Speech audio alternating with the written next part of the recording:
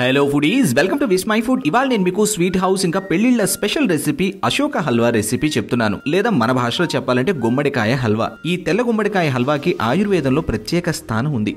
ఆయుర్వేదంలో దీన్ని కూష్మాండలేహ్యం అంటారు. బక్క చిక్కిపోతున్న శరీరానికి వీర్య వృద్ధికి ఇంకా శృంగార సమస్యలు ఉన్న వారికి ఖచ్చితంగా డాక్టర్ ఈ కూష్మాండలేహ్యాన్ని రికమెండ్ చేస్తారు. అన్ని ప్రయోజనాల కలబోత ఈ గుమ్మడికాయ హల్వా. చెంచా తినడం మొదలు పెడితే కప్పులు లాగించకుండా ఉండరు అంత గొప్పగా ఉంటుంది. Let start. ముందుగా తెల్ల గుమ్మడికాయని చెక్కు తీసుకోండి. సాధ్యమైనంత వరకు బూడిద ఏర్పడినటువంటి తెల్ల గుమ్మడికాయనే వాడుకోండి. దానిలోనే ఎక్కువ ప్రయోజనాలు ఉంటాయి చెక్కు తీసుకున్న తర్వాత లోపల గింజలు తీసేయండి. ఇప్పుడు మీడియం సైజు రంధ్రాలు ఉన్న వైపు తురుముకోండి. మరీ చిన్నవాటితో తురిమితే పేస్ట్లా అయిపోతుంది హల్వా నోటికి అందదు. చూడండి ఇంత వచ్చింది తురుము.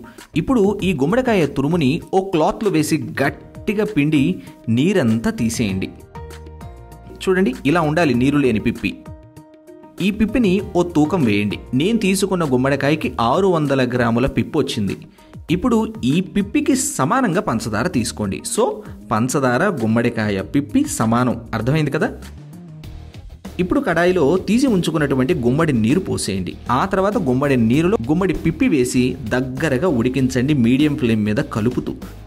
నీరు పెండకుండా డైరెక్ట్గా వేసి కూడా చేసుకోవచ్చు కదా? అని అంటే ముప్పావు భాగం నీరుతోనే నిండి ఉండేటువంటి గుమ్మడికాయ తురుమికి పంచదార కొలత సరిగ్గా చెప్పడం కాస్త కష్టం. ఏమోనండి ఈ తూకాలు మా దగ్గర లేవు మా వల్ల కాదు అని అంటారా?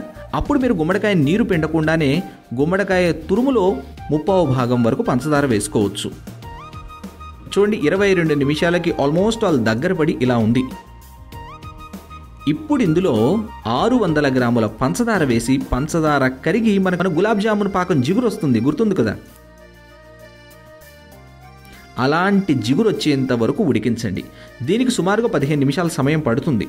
చూడండి ఇలా జిగురు వచ్చి ఇంకా నీరుగా జారుగా ఇలా ఉండాలి. ఈ స్టేజ్లో ఏడెనిమిది బొట్లు నిమ్మరసం వేసుకోండి. ఇంకా కుంకుమ పువ్వు అర టీ స్పూన్ యాలకల పొడి రెండు టేబుల్ స్పూన్ల నెయ్యి వేసి ఓ చిన్న చిటికెడు పచ్చకర్పూరం వేసి కలిపి సుమారుగా ఏడెనిమిది నిమిషాల పాటు ఉడికించండి. వేసిన ఆ నిమ్మరసం హల్వా చల్లారిన తర్వాత పంచదారని రవ్వగా కానివ్వదు మృదువుగానే ఉంచుతుంది. ఆ తర్వాత మూడు టేబుల్ స్పూన్ల నెయ్యి కరిగించండి. కరిగిన నెయ్యిలో పావు కప్పు జీడిపప్పు వేసి ఎర్రగా దోరగా వేపి హల్వాలో కలిపేసేయండి. కలిపేసిన తర్వాత ఈ హల్వాని కాసేపు పూర్తిగా చల్లారనివ్వండి. చల్లారిన తర్వాత చాలా రుచిగా ఉంటుంది. తడి తగలకుండా ఉంచితే ఈ హల్వా కనీసం వారం రోజుల పైన నిలవ ఉంటుంది. చాలా ఈజీ రెసిపీ కదా? వెరీ ఫ్యూ ఇంగ్రీడియంట్స్తో తయారవుతుంది. ఏంటి? నచ్చిందా? ట్రై చేస్తారా? అయితే డీటెయిల్డ్గా రెసిపీని చదువుకుంటూ చేయడానికి Vismai food dot com website visit చేయండి. అలాగే మీరు తయారు చేసిన ఆ రెసిపీ పిక్ని నాతో విస్మై ఫుడ్ ఇన్స్టాగ్రామ్ని ఫాలో అవుతూ ట్యాగ్ చేయొచ్చని గుర్తుంచుకోండి.